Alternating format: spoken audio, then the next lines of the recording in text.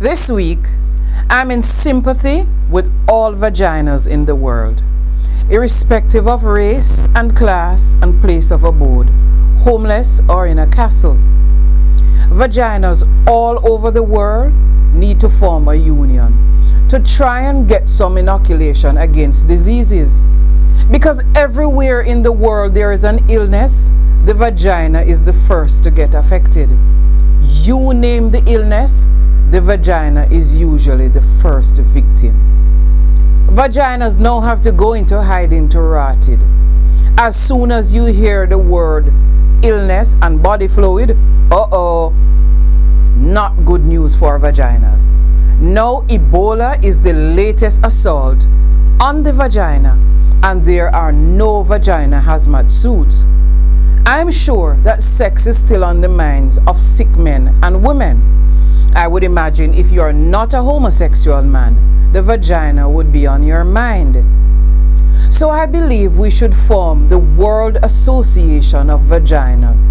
That's a union. And our local association would be the Jamaica Association of Vaginas. And we could elect any man to be the president. I am sure men would want to have the biggest say in a woman's vagina.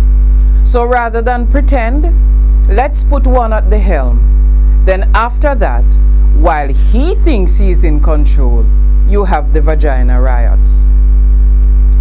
Vaginas shouldn't have to work after certain hours.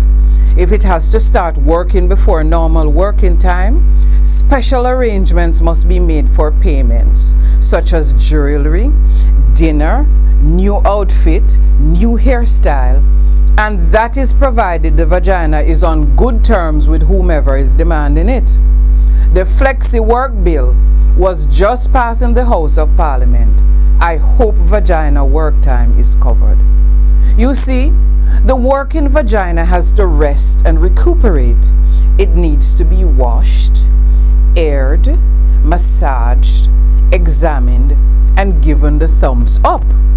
And it does not matter how old it is, it is always in demand. And before anyone gets carried away, let me make it clear that I'm not talking about careless vaginas. The ones you see on the street side begging to be used. And I am not talking about the vaginas that are being bleached. Because I cannot understand anyone bleaching their upper body and forget down there. Vaginas also have to fear the parasites who prey on it, wanting to take it by force. The John Crows who prey on the vaginas of little girls, some of their own relatives, their own children. That is why we have to have a proper association because JAV would immediately be mobilized and a resolution calling for the immediate removal of the offending organ would be carried out. Cut them all off until vaginas have no more fear to walk. Vaginas must take a stand. No amount of money can compensate for the hurt inflicted on vaginas over the centuries. And most times, men are the cause of vagina problems. If you don't stand up for yourself, no one will. It's now or never vaginas. Forward ever, backward never. Until next week, stay close.